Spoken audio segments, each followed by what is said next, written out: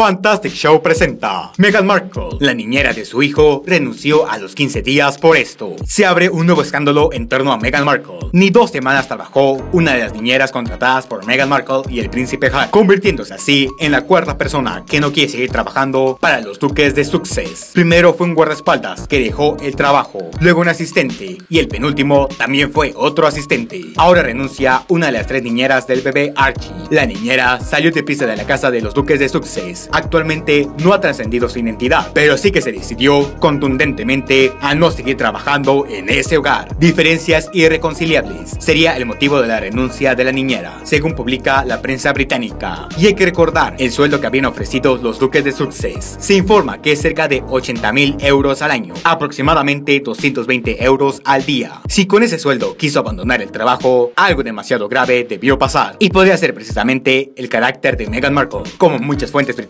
sospechan. Presuntuosa, maleducada y altanera. Esos y muchos más, y algunos más, son algunos de los feos calificativos que la prensa inglesa ha dedicado a la duquesa de Sussex. La señalan como probable responsable de que el personal del palacio deje sus trabajos. Y una de las causas también es que es muy controladora. Según la misma Meghan Markle, exige que su bebé no esté ni un solo minuto solo. Las niñeras tienen que dedicar cada minuto del día a vigilar al pequeño Archie. Pero, ¿tú qué opinas acerca de esto? ¿Crees que Meghan Markle influyó mucho para que la niñera se haya marchado? Déjame saberlo en la sección de comentarios. Bueno, esto es todo por esta vez. Nos vemos hasta la próxima.